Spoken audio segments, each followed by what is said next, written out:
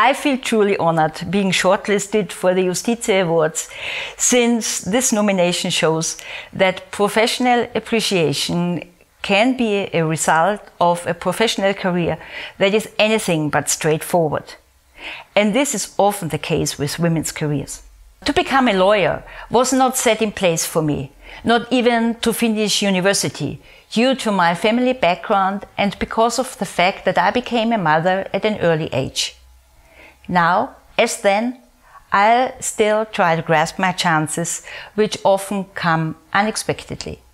However, first one must get those chances, and I got them in terms of benefits from the state as a young mother and a lot of help from my friends to finish my studies. In terms of the opportunity to make a career in the judiciary. After all, I was a judge for more than 20 years. And last but not least, to get a Fulbright grant and the support of a feminist husband to graduate from the University of, the, of Pennsylvania at the age of 48. I was and I am really lucky. And I'm extremely grateful for all the support I was given along the way.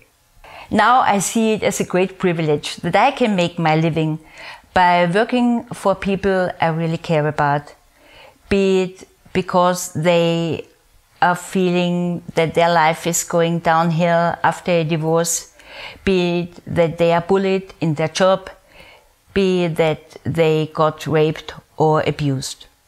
Especially in times like these, it is often said too lightly that there is a chance in every crisis. Still, there is this wonderful saying of André Gide. One cannot discover new oceans unless she has the courage to lose sight of the shores. I would be delighted if at least partly I was shortlisted because this wonderful quote has often proved to be true in my career.